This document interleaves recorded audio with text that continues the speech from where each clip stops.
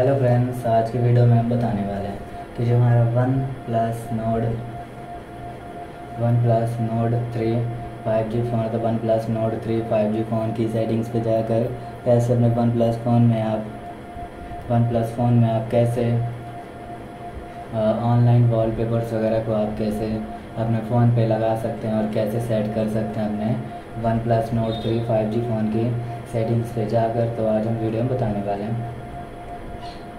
कि online wallpapers को आप कैसे लगा सकते हैं एंड आप कैसे सेट कर सकते हैं अपने वन प्लस फ़ोन में तो बताने वाले हैं। तो वीडियो स्टार्ट करने से पहले हमारे चैनल को लाइक करें सब्सक्राइब करें, साथ में ही बेल आइकन दबाना ना भूलें। तो आइकन शो हो रहे हैं तो आपको स्वाइप करना है। स्वाइप करते ही और आइकन से ओपन हो जाएँगे, जिस पे से सेटिंग्स पे जाना क्लिक करते ही फ़ोन की सेटिंग से ओपन हो जाएगी। हो जाएगी। इसके ज़रिए आप ऑनलाइन वॉलपेपर्स को अपने फ़ोन पे लगा सकते हैं और सेट भी।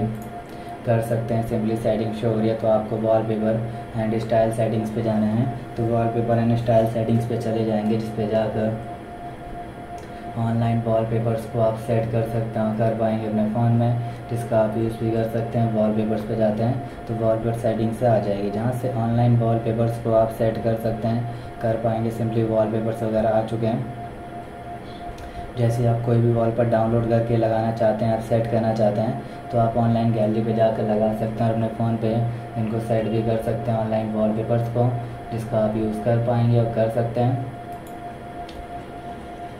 चाहें तो आप यहाँ से गैलरी पे जाकर भी ऑनलाइन वॉलपेपर्स लगा सकते हैं, जिसको आप यहाँ से इस तरह सेलेक्ट करके अप्लाई कर देंगे तो लग जाएगा आपका ऑनलाइन वॉलपेपर्स तो इस तरीके से भी डाउनलोड करके भी लगा सकते हैं और डाउनलोडेड वॉलपेपर्स को भी ऑनलाइन में लगा सकते हैं अपने वन प्लस फ़ोन में।